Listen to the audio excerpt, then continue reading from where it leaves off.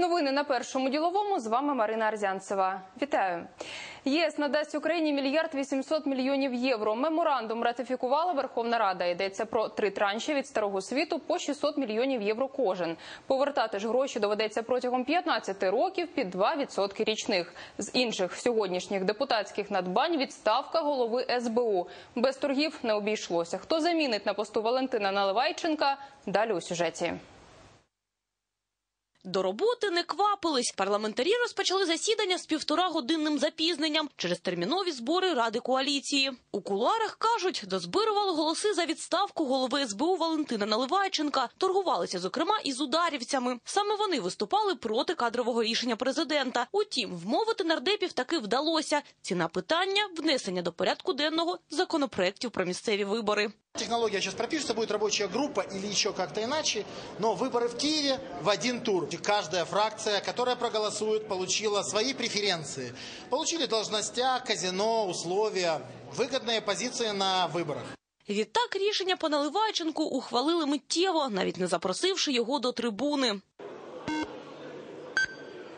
248 рішення прийнято. Натомість парламентарі вже підшуковують Наливайченку заміну. У Народному фронті кажуть, підтримають кандидатуру нині чинного заступника голови СБУ Василя Грицака. Мовляв, і в зоні АТО він побував, і на нинішній посаді показав себе добре. За таке рішення і в пропрезидентській фракції. Утім, чи вистачить голосів за Грицака у цілому в парламенті, поки не зрозуміло.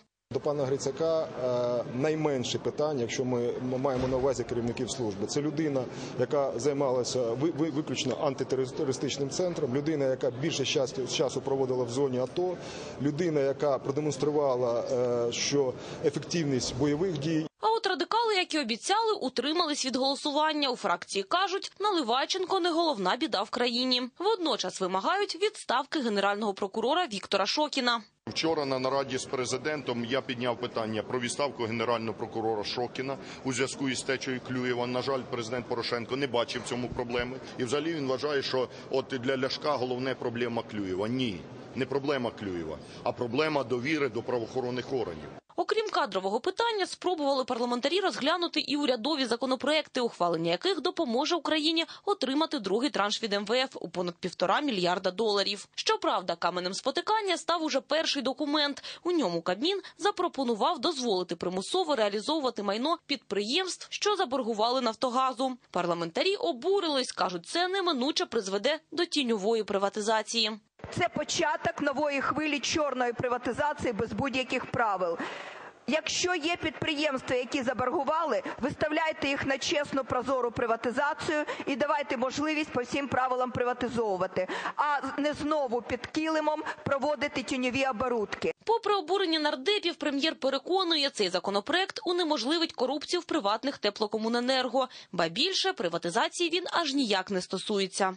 Якщо підприємство отримало гроші від населення України за житлово-комунальні послуги і не віддало ці гроші за куплений природній газ, таке підприємство треба відбирати у власників, і таке підприємство треба банкрутувати. Проте нардепи на вмовляння не піддалися, тож Арсеній Яценюк знову запросив лідерів фракцій на перемовини. Щоправда, говорили політики вже за зачиненими дверима.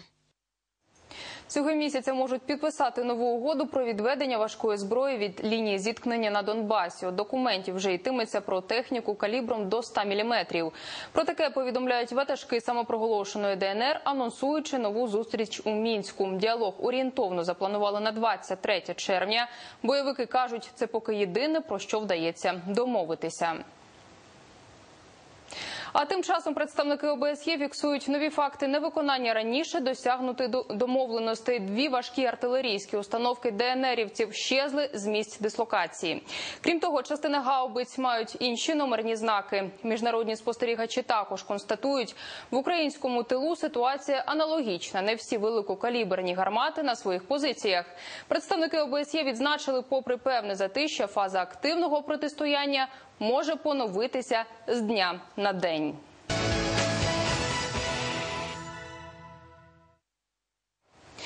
Довіра населення до банківської системи відновлюється. Такого висновку дійшли керівники найбільшої державної фінустанови Ощадбанку, зважаючи на новий притік вкладів від громадян.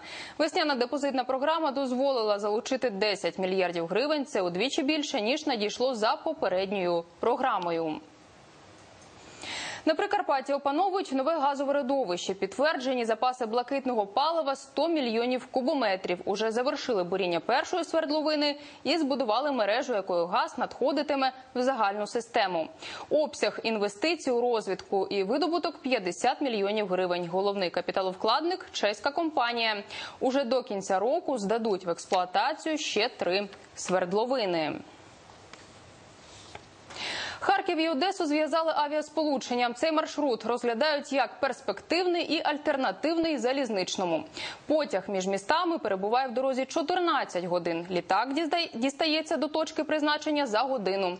Поки що здійснюватимуть два перельоти на тиждень. Квиток економ-класу в одну сторону обійдеться у 600 гривень. А зі Львова запустили новий рейс до столиці. У планах ще один напрямок на Одесу.